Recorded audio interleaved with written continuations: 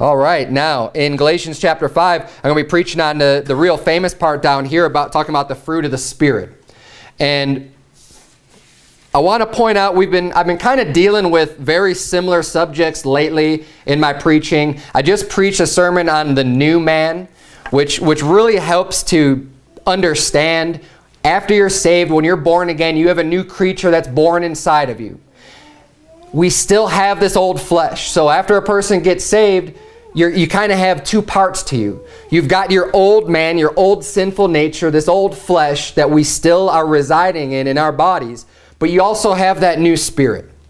And the new spirit is that new creature that's born from God. It's born from the Word of God that takes root, that seed of God's Word that takes root in your heart, that, that that becomes a new creature through faith in Jesus Christ. When you get saved, you have that new spirit. And that spirit is what's going to guide you into all truth and all wisdom. When you're walking in the spirit, you're, you're obeying God, you're doing righteous things, and, and you're, you're going to be pleasing to God in His sight. And I preached an entire sermon about that, but this is, um, this is very related to that because now we're going to go into the fruits of the Spirit. And it's important to note that yes, it is possible, and I'm going to go into this a little bit more tonight in tonight's sermon, but look at verse 25 of Galatians 5. It says, If we live in the Spirit, let us also walk in the Spirit. It's possible to live in the Spirit because you're born again, because you have that new Spirit, but not to walk in the Spirit. We have that struggle. We have that battle, and it's something that we fight every day. As I, as I mentioned, you know, it's, it's, a, it's a war, it's a, it's a battle of the flesh versus the Spirit. Now, there's a lot of people out there who falsely claim that, well, if you're saved, then you're automatically just going to do good works, and you're going to live righteously, and if you're sinning, then that's just proof that you're not saved. And that's just a false doctrine. And I'm gonna I'm gonna go into that. This that's real heavy in lordship salvation. That's gonna be preaching on tonight. But um, it's completely false. I'm going to disprove that from Scripture. But I want to focus more on the walking in the Spirit part this morning. We're going to focus on the the good stuff this morning. It's you know last week was a really really hard hitting sermon.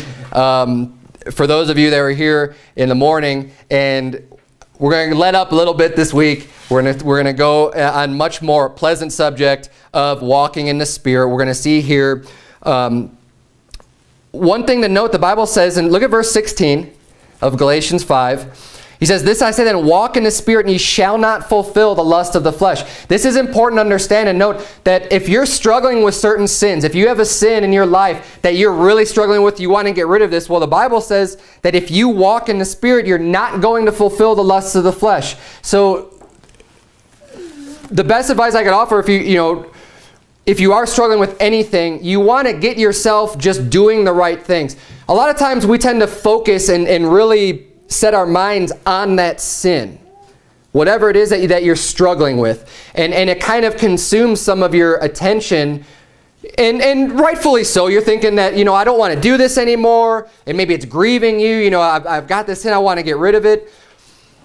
But instead of just focusing on that one sin, I mean, you want you need to be able to identify it, obviously. But if it's something that's kind of plaguing you, Instead of focusing on that sin, just focus on doing good things and just, just completely ignore whatever that sin may be, and try to spend as much of your time as possible just doing righteous things. If you're walking in the Spirit, you will not fulfill the lust of the flesh.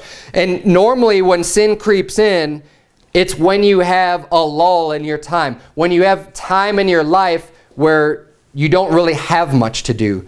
That's oftentimes when we find ourselves getting into trouble. It's why I just have this free time, so what am I going to do? And you don't have a plan, you don't know what, how you're going to spend your day. Oftentimes then our, our flesh kind of speaks up and says, hey, I know what we can do. and, and it's real easy to get caught up into things you don't want to do. So if you, if you spend your time, you know, it's, it's a lot harder for me, and, and I'm not going to, you know, I'm not lifting myself up in any way, but when you keep yourself really busy, I have a very busy schedule. I have an extremely busy schedule. I work a job, I'm pastoring a church, I've got my family, I've got all kinds of things going on. So I don't have breaks in my day where I'm just like, oh, what am I going to do today? You know, it's just, that just doesn't happen. And because of that, there's probably a lot of things that maybe where I would be finding myself getting into certain sins, I don't because man, I just got to keep going and going and going and going and going. And this is a similar thing, you know, if, if, you're walking in the Spirit, you know, if you find, say, hey, I've got time on Saturdays that are just free and I don't even know what to do, go soul winning. Read your Bible. Study, pray. I mean, there's, there's so many things that you can do that are pleasing in God's sight that will help you to be walking in the Spirit and doing the right things the other the, the the the lust of the flesh and those things will will you will not be walking in the lust of the flesh. You're not going to fulfill the lust of the flesh if you're doing that which is right.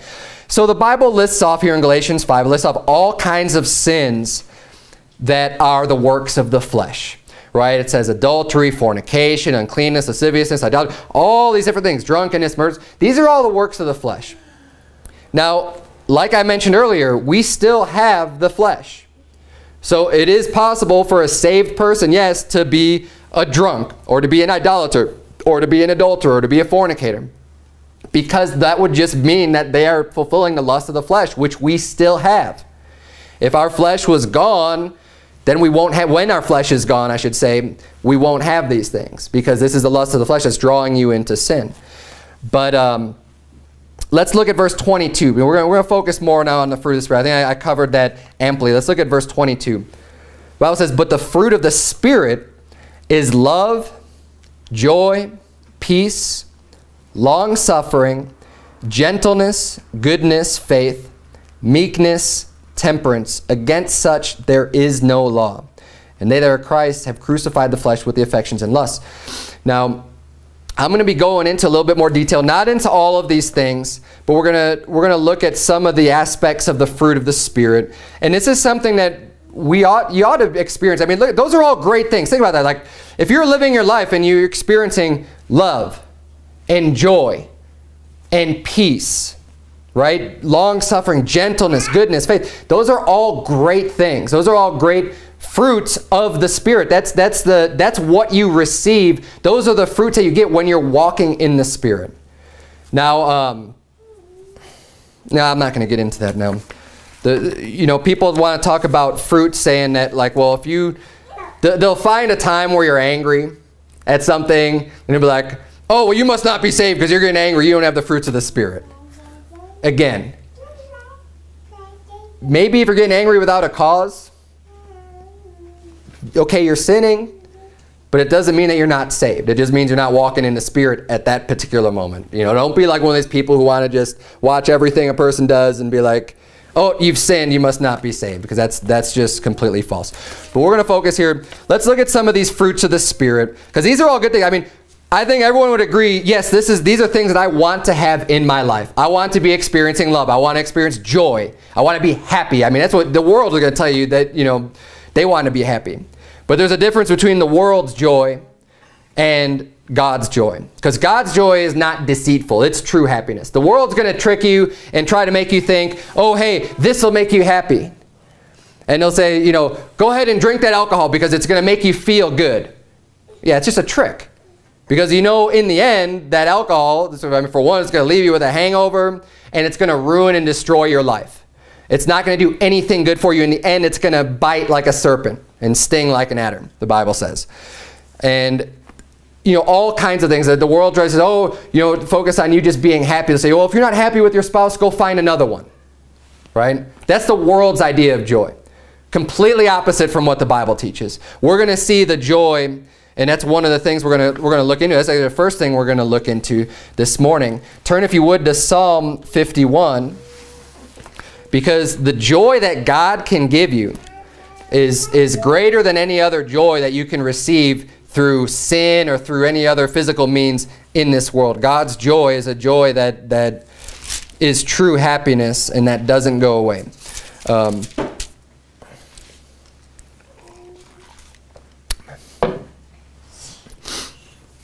Psalm 51, we're actually going to see here This is a psalm of David when um, it says at the beginning of Psalm 51, it says, when Nathan the prophet came unto him after he had gone into Bathsheba. And this is David being very remorseful over his sin. Jump down to verse 10. He's, he's, you know, he's getting right with God. He's, he's repenting. And he says in verse 10, Create in me a clean heart, O God, and renew a right spirit within me. Cast me not away from thy presence, and take not thy Holy Spirit from me. Restore unto me the joy of thy salvation, and uphold me with thy free spirit. Then will I teach transgressors thy ways, and sinners shall be converted unto thee. So notice he says, Restore unto me the joy of thy salvation. Just being saved, there's a joy in that. There should be very extreme happiness. I remember my own personal salvation experience, if you want to call it that, when I decided to put my faith in Christ. It was at a very low point in my life. I was depressed. I had a lot of things going on. And I put my faith on the Lord Jesus Christ. That gave me joy. Just joy of knowing that I am never going to go to hell. That punishment is, has been wiped away by the blood of Jesus Christ. That, that is no longer going to happen. I am no longer going to see that place. I have nothing to do with hell. I'm a child of God. That is a very thing, a, very good thing to be happy about. Now, notice when David commit adultery with Bathsheba, when, that's one of the, the works of the flesh, right? He obviously was not walking in the Spirit. So because he was not walking in the Spirit, because he was fulfilling the lust of the flesh, he didn't have that fruit of the Spirit. He no longer had that joy. So when you get yourself into these sins, you stop walking in the Spirit. Well, hey, all those great things that we just mentioned, those are going to depart from you. Because you're not walking in the Spirit, you're not going to have the fruit of the Spirit. So that's why he says in verse 12, Restore unto me the joy of thy salvation. Look, I want that joy again. I want to get right with you. I want to walk in the Spirit again.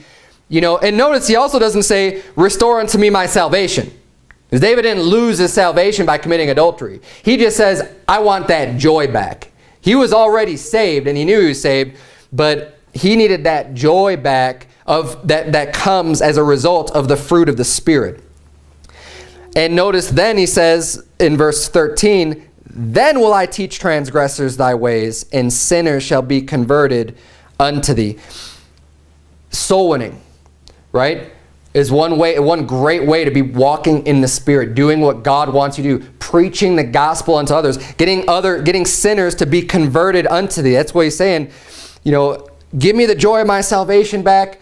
Help me to walk in the Spirit. When I'm walking in the Spirit, then I'm going to go out and I'm going to teach transgressors thy ways. I'm going to get back and, and do what's right in your eyes, God. And that's David's prayer unto God.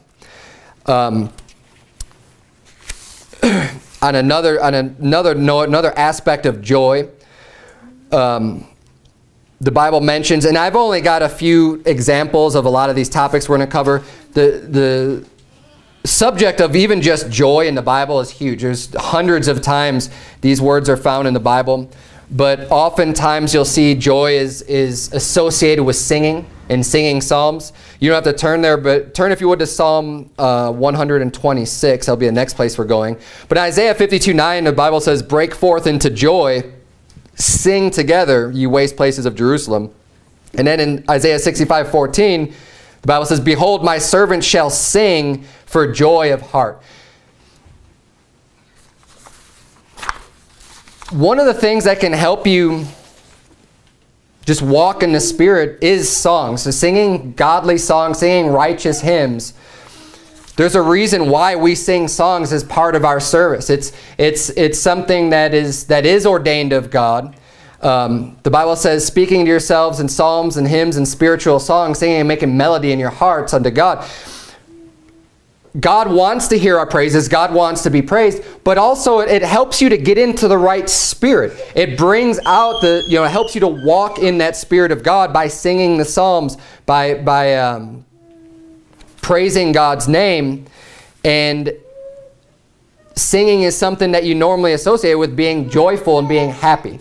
And that's that's definitely true in the Bible. And and you know something that can help you out throughout your daily just just as you go out throughout your day instead of singing the songs of this world and and singing the rock songs and singing whatever's played on the radio Take one of these hymnals home with you, and yes, they're free. Everything in this church is free. Take one of these home with you. Learn some of these hymns. If you don't know them already, learn some of your, find your favorite songs, your favorite hymns, and learn them and just sing them throughout the day. That'll help you to keep walking in the Spirit so you don't fulfill the lust of the flesh. Think about that now. If you're, if you're thinking about a song, if you're, if you're someone like me, I love music. And you always just like, you love listening to music, you love singing music, you love everything about music. If you're singing and you have these songs running through your head that are the world's music, that are teaching you about, you know, adultery or fornication. Like, and that's what these, these songs are about. I'm not going to go into I've, I've done sermons on this in the past. But you know it's true. And if you don't think it's true, listen next time if you're into the rock music or country or rap or I don't care what genre you listen to. Whatever it is, listen to the things that they're saying and you'll find out that they're sinful. They're wicked. They're not godly. They're not good things that are being taught and being sung. And um, these aren't the thoughts that you want to have over and over running through your mind that is going to drive you into more sin. I've noticed this personally in my own life. I really love music, as I mentioned earlier. It's something that's really just, just stirs up my spirit and my soul. And it feels good to the flesh. You know, the rock music, all of it. I listen to just about every genre of music. And I noticed that the more I listen to music, the more I would get into other sins.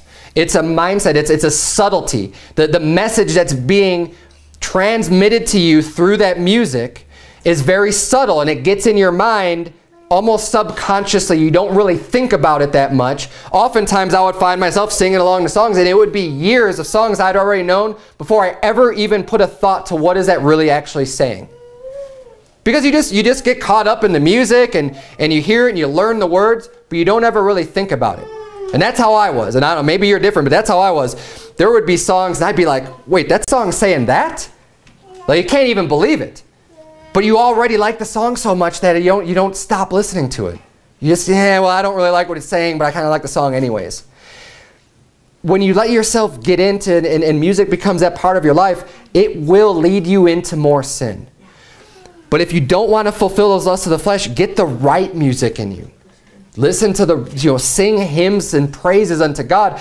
If that's in your heart and if that's what's in your mind, it's going to naturally follow that you're going to be walking in that spirit because this is where to be spiritually minded. To be thinking about God. You're not going to be trying to forget about God because I want to do this sin.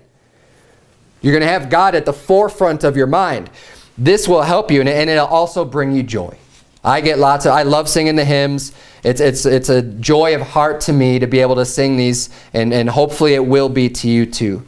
Um, but if you, if you still have that, the, the worldly music in your life, cut that out. It might hurt, it might be painful. Just, just get rid of it. You don't need to listen to something on the radio all the time. Turn that off and, and I promise you it will, it will impact your life in a positive way to get that music out of your life. Um,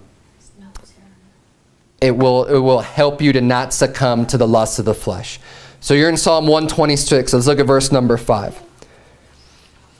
We're talking about joy, right? Walking in the Spirit.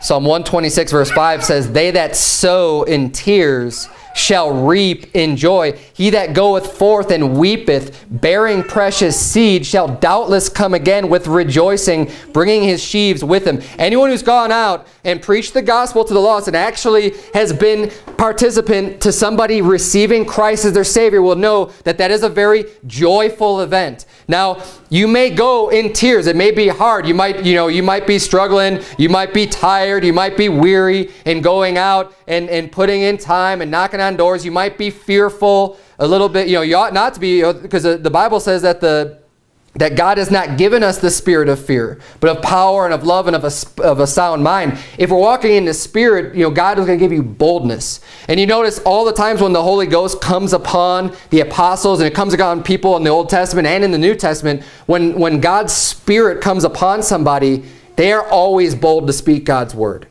They're never afraid. They're never saying, oh man, I wonder what, what, what's going to happen to me now. Every time without fail, when God's Spirit comes upon some, uh, somebody, they're bold to speak. So we ought to be bold and pray for God. If you, don't, if you don't have that boldness in your life now, pray that God will give you that boldness. But regardless, it's important that we go out and we bear that precious seed, bear the seed of God's word, and bring it to the lost. He says that they that sow in tears shall reap in joy. And it truly is a joyful experience to, to get another person saved, to preach the gospel of Jesus Christ unto them, and to persuade them and to get them converted to trusting in Christ alone as their personal Savior. When somebody does that, when you can show them and show them everything in the Bible that Jesus did for them, explain the free gift, and they, they convert their heart and trust on Christ alone, amen, that is so joyful. And, and if you've never done that before, you might, you, you're not going to understand it.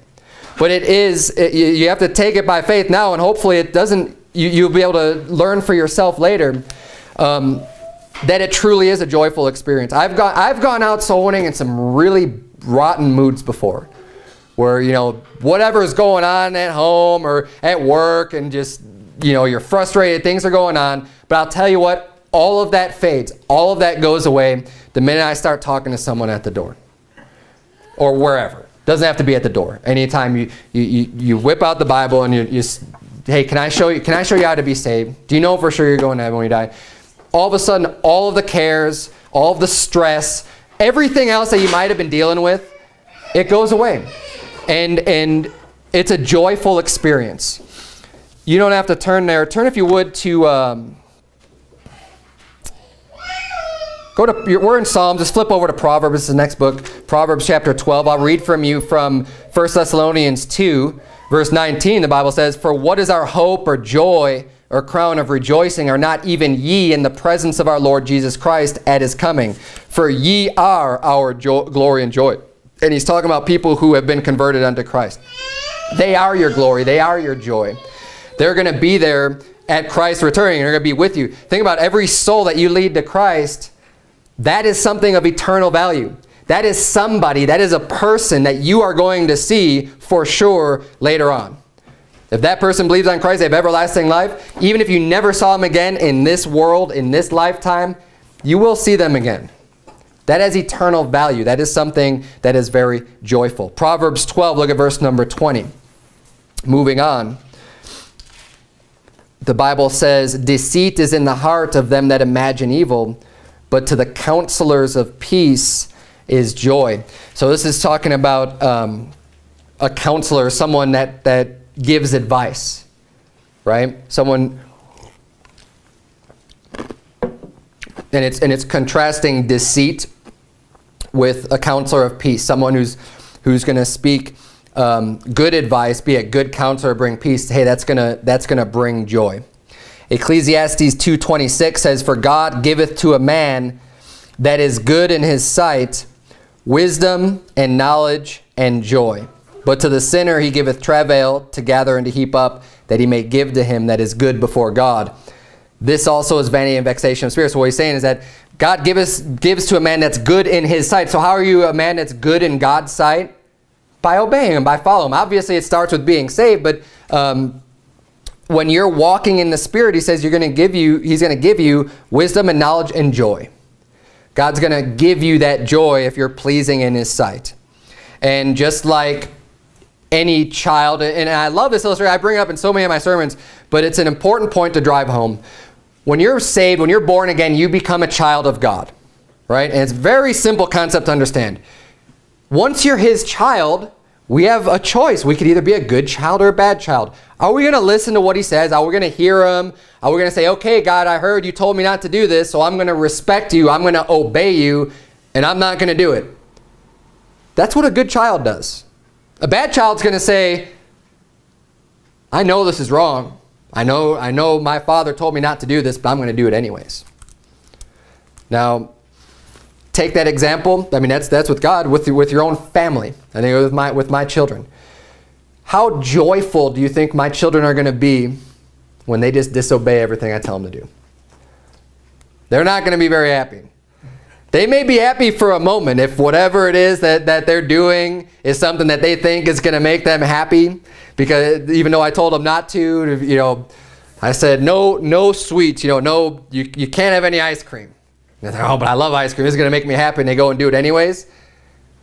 That joy is going to is gonna be very short-lived. I guarantee you that. When my children disobey me, it's not going to be joyful. Be why? Because they're going to get a punishment. They're going to be disciplined. They're going to be shown, to know that's wrong. You can't do that. You need to listen to dad. You need to respect dad. You need to obey. And it's the same way with God. When we decide to disobey him, when we're walking in the flesh, we're not walking in the spirit, we're doing things against what he says, well, we're not going to be joyful. It's not going to be a pleasant experience. Our relationship with God is going to be strained. He's going to be angry with us, and we're going to feel the result of that in our life. We're not going to have the proper joy. But on the other hand, if we're doing what's right, if we say, you know what, God, I see that, that you say in the Bible I'm not supposed to do this, so I'm not going to do it. I'm going to respect you. I, I, I understand that you know way more than I do. You know what's best for me. I'm just going to trust you and, and obey you. God's going to bless you for that. And one of the blessings is joy. It's, it's that fruit of the Spirit that you're going to receive. These are all great things. These are all good things that are given to us by God. That joy. Um, let's see. I'll move on to the next point. I've got one more scripture here, but let's let's go on to peace. Peace is another fruit of the Spirit. So we're in Proverbs, right? To flip back to Psalm 4. Psalm 4.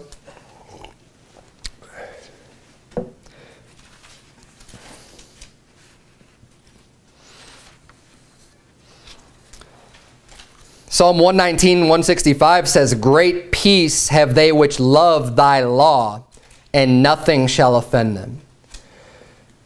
Loving God's law. And again, people will often criticize fundamental Baptists by saying, oh, you're such legalists, right? Oh, why are you always preaching on God's law? Why are you always preaching about sin and God's law? Don't you know that we're free from God's law because we're under grace through Jesus Christ? Well, yeah, for being saved, we're free from the curse of God's law.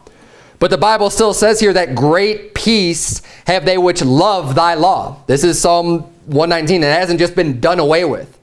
That psalm is not meaningless. It definitely has just as much meaning today as it ever has to have great peace because you love God's law. You're in Psalm 4. Look at verse number 8.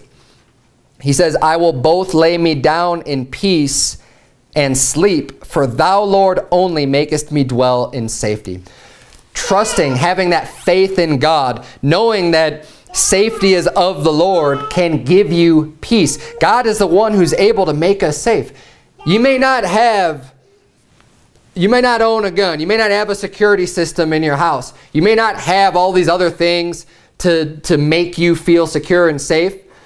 But if you have your faith in God and you trust in God, that can give you the, the perfect peace that you have. Now, I'm not saying it's wrong or, or there's any problem with doing those other things or, or that it, it shows a lack of faith even. I, I don't believe that. I think it's prudent to, to have measures to keep yourself safe. But ultimately, no matter how much, I don't care how much of that stuff you have, if God is not protecting you, then thieves are going to be able to break through and steal.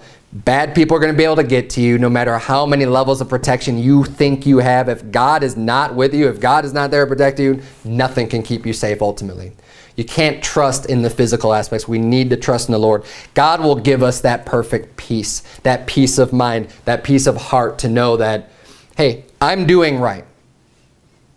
If something bad happens to me, it must be in God's will. Right? So you can look at, I've used this example in the past as well. Stephen, who was martyred for Jesus Christ. Bad, that's something bad that happened to him. He got stoned with stones. Right? Very unpleasant. Not something that, that you look forward to. Not something that you're thinking like, oh, wow, this is great. I'm glad this is happening to me. But it was a good thing because it was God's will that he got martyred. He gave his life for the cause of Christ. And that was something that, that actually is a, is a true blessing. And in that moment, the Apostle Paul was there. He was named Saul then. But that event must have had a huge impact on Saul's conversion, right? Stephen was doing what was right. He was walking in God's will. He, he was filled with the Spirit. The Bible says he was preaching, and they could not, they were confounded by his wisdom and by his Spirit. They, they couldn't say anything against him because he was just speaking the truth. And they got so angry at him that they stopped their ears and they ran on him and they stoned him with stones and killed him. He was doing everything right, definitely in that moment. He was walking in the Spirit. He was doing right by God. God allowed him to be martyred. But he was doing that which was right. And he had peace. And it's evident he had peace. Because he says, Lord, lay not this sin to their charge. He even had enough peace and enough compassion to just say, you know, don't, don't hold them guilty. They're killing me, God, but they don't know what they're doing. Don't lay this into their charge. That is great love. That is great peace. That is great joy. All these things, all these fruits of the Spirit you can see were, were evident in that moment with Stephen, in a moment where you would think that he'd have none of those things because he's getting rocks pelted at him, right? Yet he did because he was walking in the Spirit. He, he had that great peace. And this is something that, that we can have also. We want to strive to be walking in the Spirit as much as possible. If you have turmoil in your life, you have inner turmoil, if you have a lot of stress, hey, God will give you that peace. Walk in the Spirit, walk in His ways, and you will get that peace. Um, flip, if you would, to Philippians chapter 4. Turn, if you would, to Philippians chapter 4. I'll read for you from Romans 8. Romans 8 6 says, For to be carnally minded is death but to be spiritually minded is life and peace. Romans 10:15 says, "And how shall they preach except they be sent? As it is written, how beautiful are the feet of them that preach the gospel of peace." and bring glad tidings of good things. The gospel that we preach is a gospel of peace. You have peace through Christ, peace that you no longer have to have that punishment to pay. You're not going to be held liable for your sins in an eternal burning fiery furnace. If you're in Philippians chapter 4, look at verse number 6. Philippians 4 6 reads, Be careful for nothing, but in everything by prayer and supplication with thanksgiving let your requests be made known unto God. And the peace of God which passeth all understanding shall keep your hearts and minds through Christ Jesus. Finally, brethren, whatsoever things are true, whatsoever things are honest, whatsoever things are just, whatsoever things are pure, whatsoever things are lovely, whatsoever things are of good report, if there be any virtue, and if there be any praise, think on, those, on these things. Those things which ye have both learned and received and heard and seen in me, do, and the God of peace shall be with you. So again, this is, this is just another way of stating to walk in the Spirit. Uh, in, in verse 8, when he says, Whatsoever things are true, honest, just, pure, lovely, of good report, if there's any virtue, you think on those things. Keep your mind focused on those things so you can be walking in the Spirit so that the God of peace will be with you. And the, the peace of God, says, which passeth all understanding. You can't even understand the peace of God. It's just something that, that you can experience. He says, It shall keep your hearts and minds through Christ Jesus. And that is a great thing to have. Now, peace is a very good thing. Unfortunately, in our culture, in, in American culture at least, oftentimes you can, you can hear the word peace and it's associated with the hippies, right? With people who are just like free love and, and peace, man, and all this stuff. And it, it kind of gives you this impression of someone who's a sissy and someone who's just a pushover and just just you know and that's that would be someone who's just like peace at all costs. But that's not what the bible teaches either. The peace we've been looking at is kind of more of like an inner peace a peace that you find you know you get in your heart and in your mind. But it's also it's not just an inner peace. We ought to try to to live at peace with the people around us. War is not something to be desired ever Unfortunately, it is necessary sometimes, and, and the Bible talks about that. And, and, you know, Jesus even admonishes disciples to make sure that they had a sword. And, and you know, there's, there's a reason for having some of these things. But we want as much as possible. The Bible says in Romans 12, I'll quote this for you, He says, If it be possible, as much as lieth in you, live peaceably with all men. So God wants us to live peaceably with all men. He, he, wants us, as much as is possible, we want to, to strive to have this type of a peace. Now, as I said, though, unfortunately, in our, in our culture, you know, that, that peace is associated with maybe being weak when it doesn't have to be. Um, where, are you still in Philippians 4? Did I have you turn anywhere else? Philippians 4. Turn, if you would, to Second Thessalonians chapter 3. Because this is where I'm going to read next. Hebrews 12, 14 says, Follow peace with all men and holiness, without which no man shall see the Lord. Second Thessalonians chapter 3, we'll be looking at verse 14. Second Thessalonians 3.14 says, And if any man obey not our word by this epistle, note that man, and have no company with him, that he may be ashamed. Yet count him not as an enemy, but admonish him as a brother. Now the Lord of peace himself give you peace always by all means. The Lord be with you all. Now, the reason why we're reading this is there's sometimes attaining peace is done by, by making sure you're not having company with even a brother in Christ who is, who is committing some pretty bad sins. The Bible talks about someone, you know, a brother who is a, a fornicator, an idolater, covetous, you know, with such an one, know not to eat. So there's certain sins that the Bible calls out that's saying, look, if there's someone that's called a brother, someone who's saved, someone who's been in church for a while, someone who knows better, someone who understands and they've grown and they know, and, and they're getting into these other sins and they're an extortioner or a drunkard, don't eat with that person. Now, there's, a, there's multiple reasons for that. So it says here in verse 15, yet count him not as an enemy, but admonish him as a brother. For one, that's going to help that person out. That's a loving thing to do for a brother in Christ is, is, is to separate from them. Because there comes a point where people just need to understand, hey, what I'm doing is wrong and it's going to have some consequences. And that's going to mean I'm going to be kind of shut out from being able to even fellowship with my friends. Because I've got this in and I've got to get this in right. And it's kind of a tough love type of a stance to say, you know what? We don't, you know, we have to make a line in the sand and God draws that line for us and says, you know, anybody getting involved in this, you, you, we're not going to fellowship with you. Now, we're going to love you. You're a brother. But you need to change this. This is something that you need to get right in your life. And that's why you don't count him as an enemy. But at the same time, you're not going to be spending your time with that person and eating it with them. Now, what that's going to produce, though, for one, a little, the Bible says a little leaven, leaven at the whole lump. You don't want to have that person that's involved in that sin kind of bringing that sin around everyone else and infecting other people because what's going to do, when that's just accepted, when that's accepted in church, when that's accepted among the brethren that someone can just do some pretty bad sins and just, just say, well, it's just fine that teaches other people. That's going to teach the children. That's going to teach maybe some weaker Christians to say, oh, well, I guess it's not a big deal then. Right? I mean, this person's a drunk. Brother so-and-so, yeah, he's a drunk, but no one seems to care. No one does anything about it. No one says anything about it. It must not be that bad. And you can see how that, I mean, the kids will see that. The weaker Christian's going to see that. But God says, no, you know, that, that's not acceptable. It's not okay. We live, we're supposed to live according to at least a certain standard. We're not going to be just fornicating and getting drunk and doing these other things.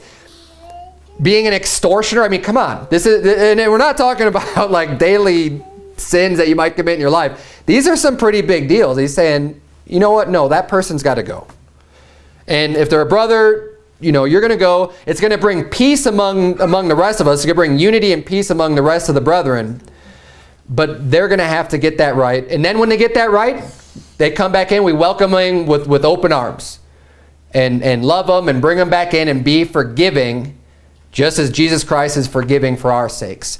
But they need to get that right. Um, whoever it is, it doesn't matter who that person is. If they're a brother, if they're if they're considered a brother, not just some brand new Christian that just got saved yesterday, but someone who's, you know, considered a brother. Um, we need to not count him as an enemy. And the Lord of peace is going to give us peace by all means.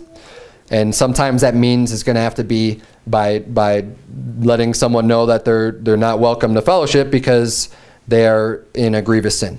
Now, um, let's go on to long suffering. We're almost done here. I'm not going to, like I said, I'm not going to go through all of the fruits of the Spirit because each one of these can pretty much be a sermon in and of themselves. Joy, peace, um, faith, long-suffering, gentleness, goodness, all those things are, are, are great subjects. We're going to look at long-suffering now. Turn, if you would, to Ephesians chapter 4.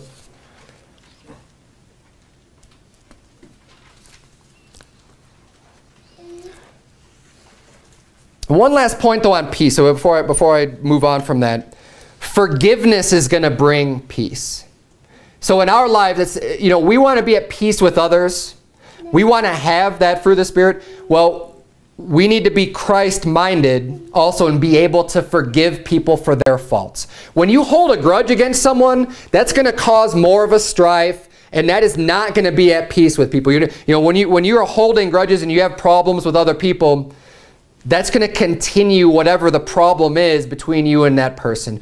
We need to be able to, to be humble have a, a, humble mind and a humble attitude that says, you know what, even though this person has done me wrong over and over again, I'm going to try to, to have my mind as much as possible like Jesus Christ's mind in being able to forgive. Anytime you have a problem with someone else and you just have this problem and you say, I don't want to let this go, I can't forgive that person. Think about your own sins in your life. Go back in your mind and start to recall all of the sins that you've committed in your life. All the wrongs that you've done to other people. All the wrongs that you've just done to God. And then think, God forgave me of every single one of those sins.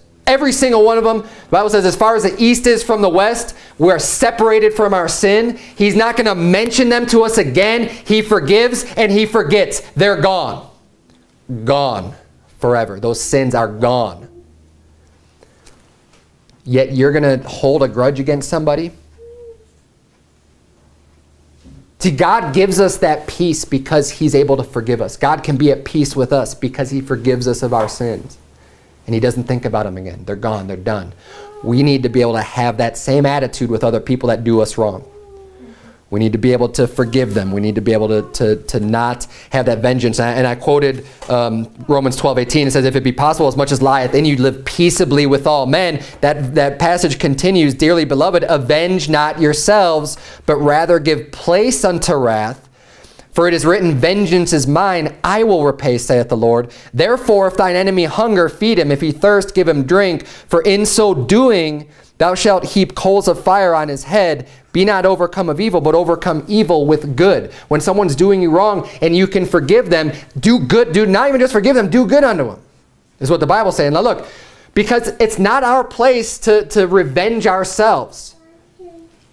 We can take peace and comfort knowing that God sees all these things. So when you have the proper attitude and you can be, you know, for one, trying to be peaceful with someone else and trying to extinguish any, any strife that may exist between you, not only can you try to attain peace that way, but you can also just have the peace of mind even if that person won't let it go. And they just continue to be your enemy and continue to do bad things. You say, okay, you know what? I'm just going to do what's nice. God's going to see what's going on here. God could see my heart. God could see I'm doing what's right. I'm doing what he told me to do. He'll avenge me.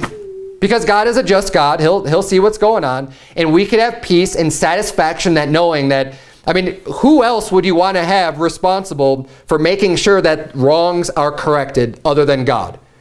I mean, God's perfect. God is a just God, and he'll know exactly what needs to be done to handle the situation more than you know, more than I know, we just do our part and try to live in peace, and God will take care of the rest. And that is a great comfort and peace that we could have within ourselves. Long suffering. Where did I have you turn to? Ephesians 4. Let's look at verse number 1. Ephesians 4, verse 1.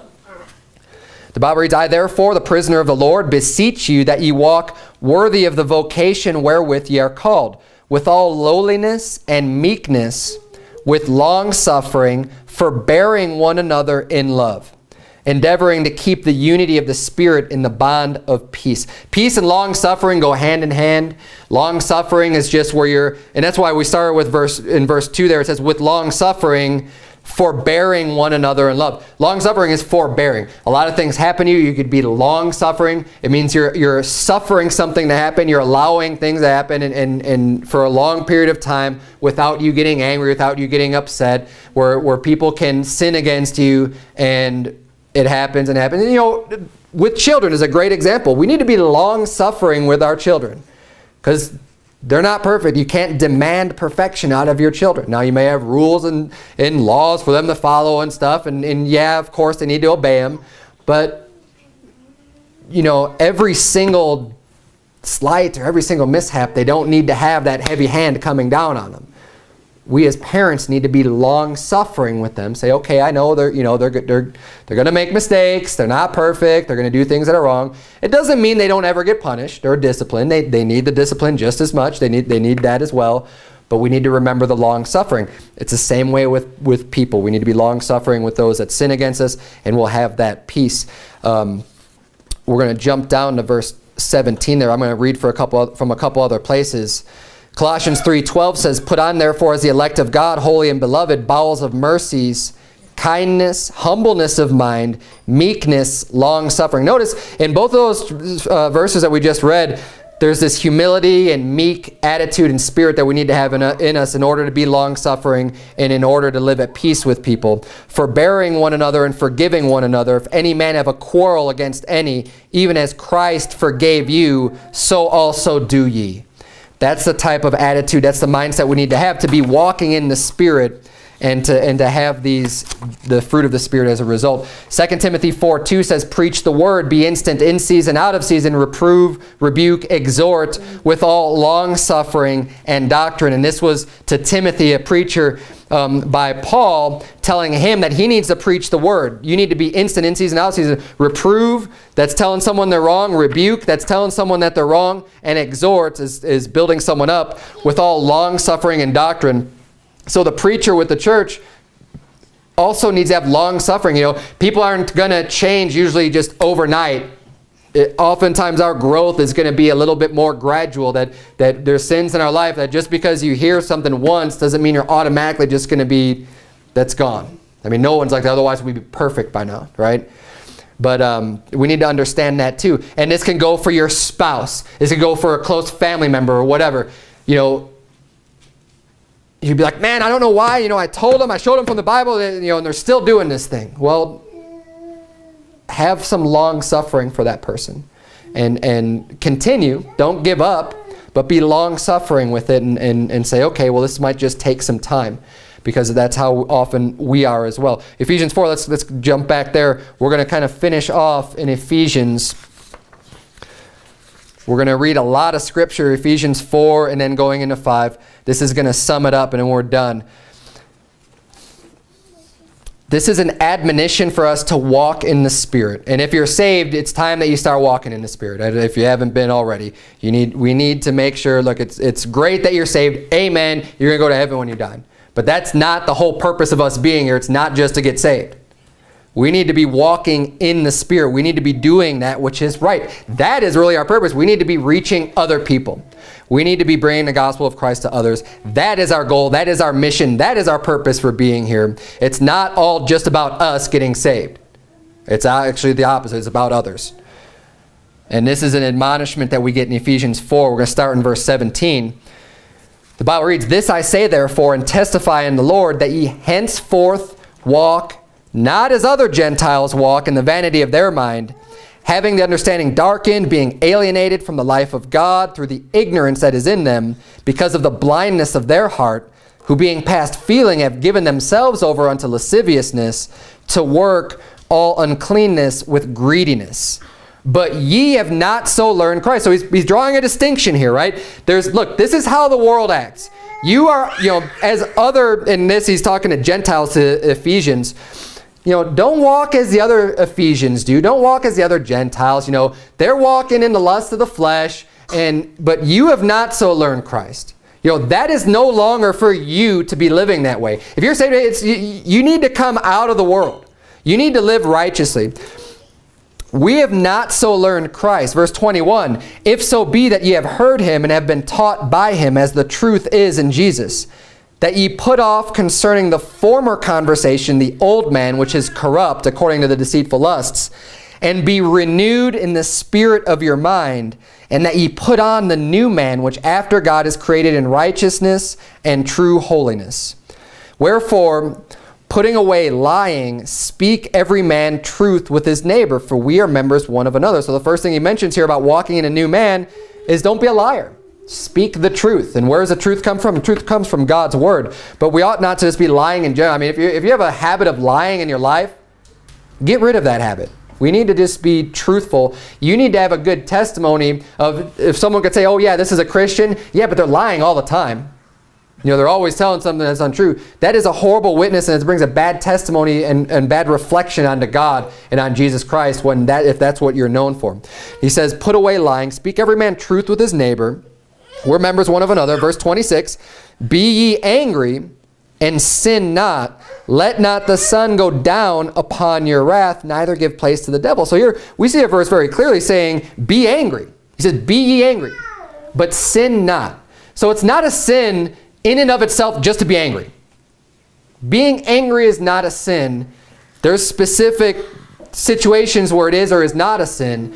But just being angry. Jesus Christ was angry when he went into the temple and he saw them, the people buying and selling the doves and, and he flipped over the tables of the money changers. He was angry when he did that. But it was a righteous anger. Jesus did not sin one time. So just being angry in and of itself is not wrong. But he's saying here at the same point though, if you're angry, don't sin. Because it's very easy for you to slip into sin when you get angry. And sometimes just being angry at, at a certain, you know, being angry with a brother without a cause, that is a sin. So there are times when getting angry is a sin. You shouldn't get angry with someone for no reason. If there is, if it's just causeless and you just get angry with somebody, that is not that is not acceptable. That is a sin.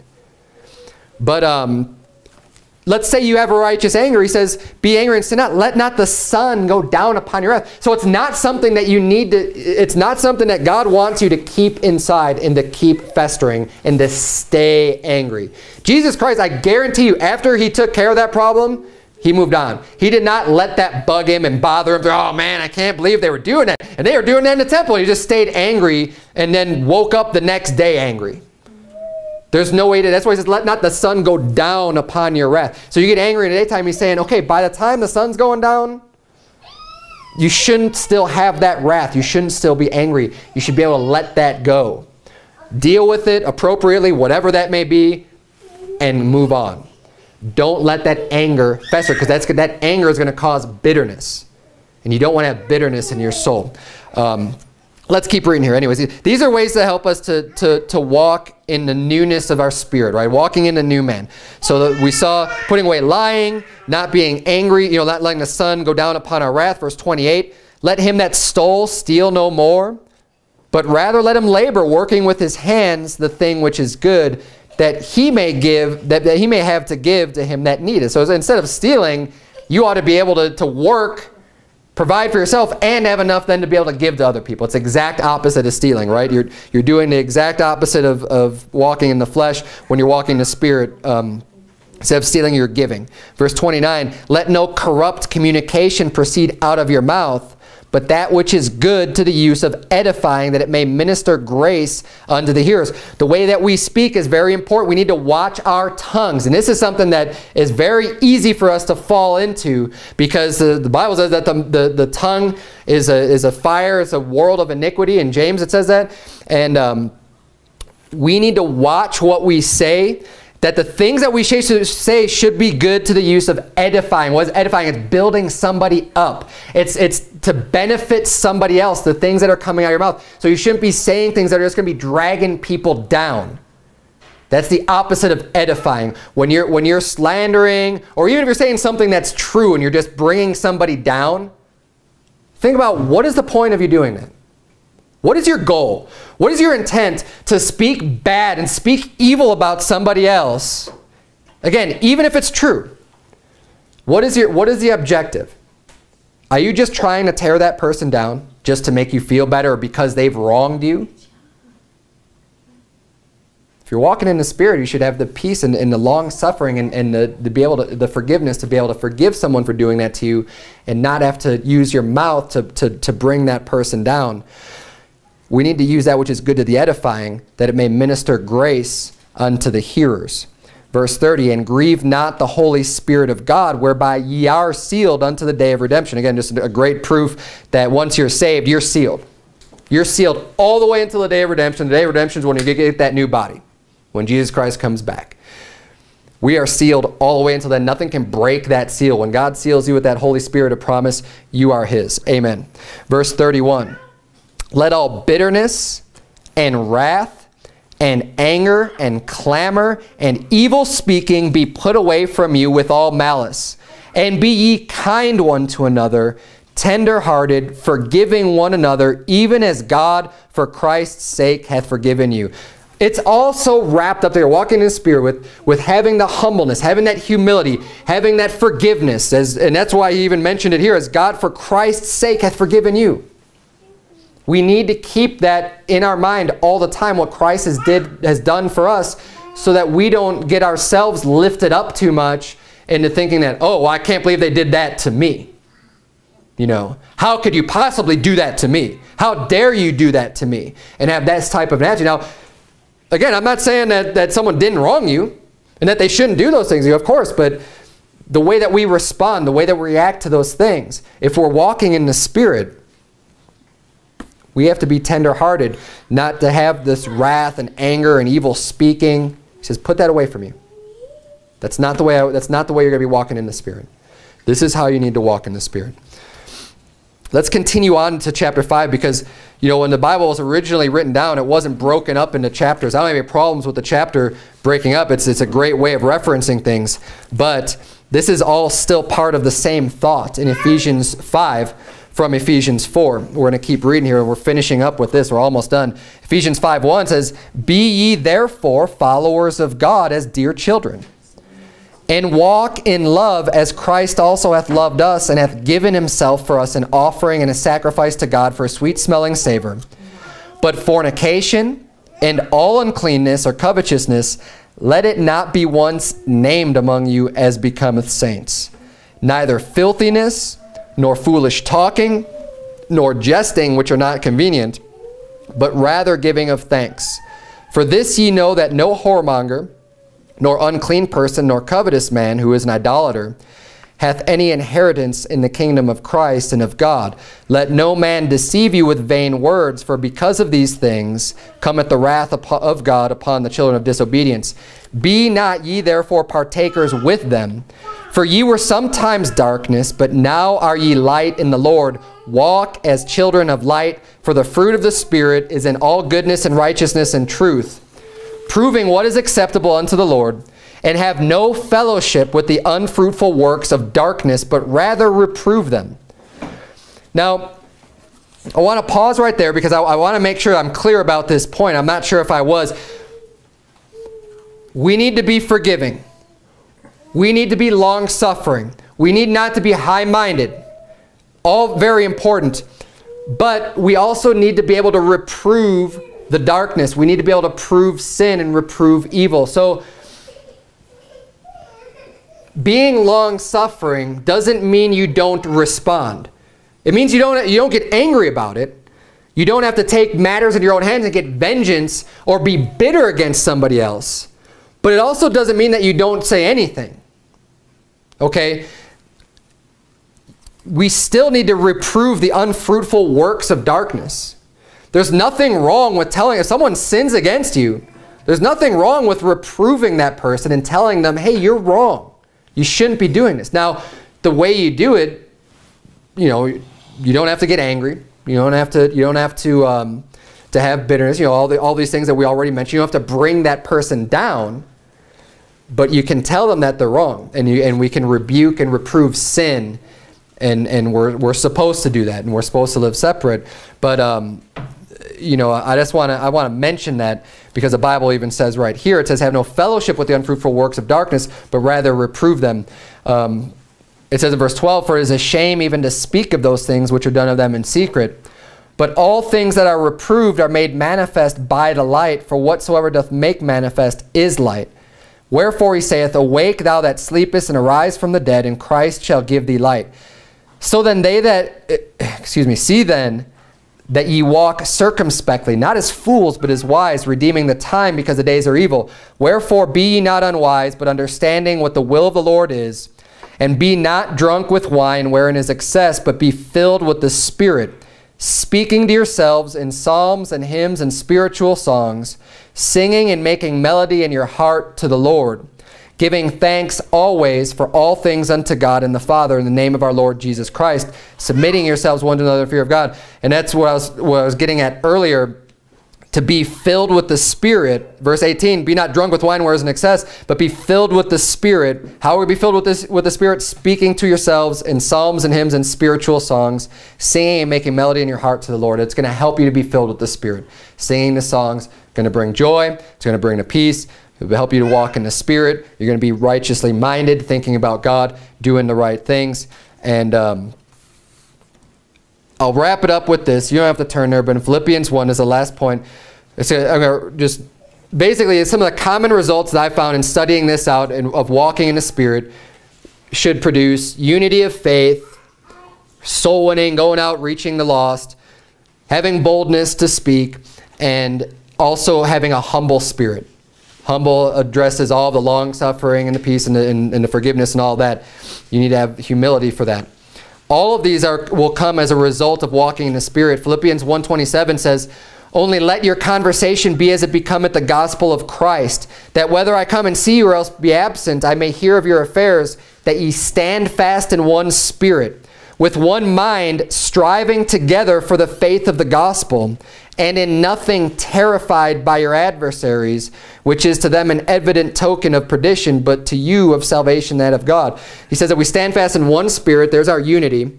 In our church, we ought to be unified in one spirit, in the spirit of God, in the spirit of truth from his word with one mind, striving together for the faith of the gospel. Our goal, our mission as a church is to, to work together, to strive together for the faith of the gospel, to bring the gospel to other people. That is our main focus. That is our unifying goal as a church, is to bring the gospel of peace to the lost. And he says, and in nothing terrified by your adversaries. We don't need to be afraid of the enemy. We have that peace from God. All of these things are going to be a result of walking in the Spirit. And we all need to be walking in the Spirit together to be unified, to preach the gospel, and to not be afraid of what the world thinks, what the world says, what the enemy is going to try to do to us. Let's bow our eyes and have a word of prayer. Dear Heavenly Father, Lord, we thank you so much for your words. God, I pray that you would please help us all to walk in the Spirit. God, I know it's one of my regular prayers to you is that you would help me to walk in the Spirit. Lord, there's, there's a lot we learned today, a lot of scripture we went over from singing songs and the way that we ought to deal with people. God, I pray that you please help us to have a humble mind, humble hearts, dear Lord. Help us to never be um, forgetful of our, of our own sinful lives that you have forgiven. Lord, help us to be um, forgiving unto others. God, I pray that you would please help us to live at peace and um, that you would give us all of those fruits of the Spirit when we um, and that we would walk in them as much as possible every day. In Jesus' name we pray. Amen.